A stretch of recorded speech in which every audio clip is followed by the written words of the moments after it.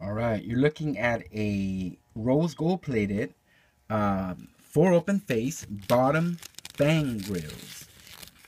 These are uh, designed for the bottom six teeth and they go in this direction. Okay.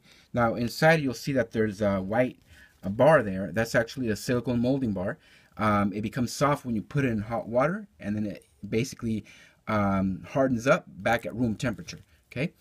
So there you go, guys. Uh, these are made out of brass with a rose gold plating. Um, you get the fangs there on the first and last tooth, and four of your teeth will be open face. Okay.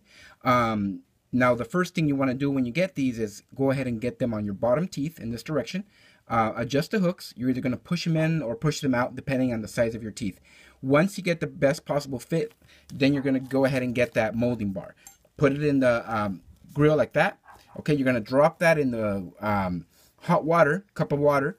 Uh, wait for that molding bar to turn clear. Take it out of the water and then put it on your bottom teeth. That's it, guys. That's the whole process. Uh, in the box, you'll see that there are fitting instructions. Basically, that's a very simple process.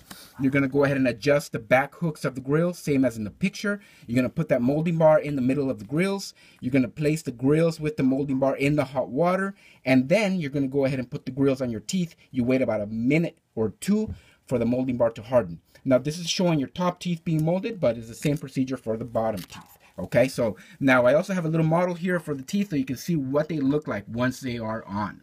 And there you go, guys. Bottom teeth, okay, six bottom teeth and four are open face. And then you get your, um, your fangs there. Okay, rose gold plated, beautiful grills, guys, available at Bling Cartel. Thanks for watching. Y'all have a good one.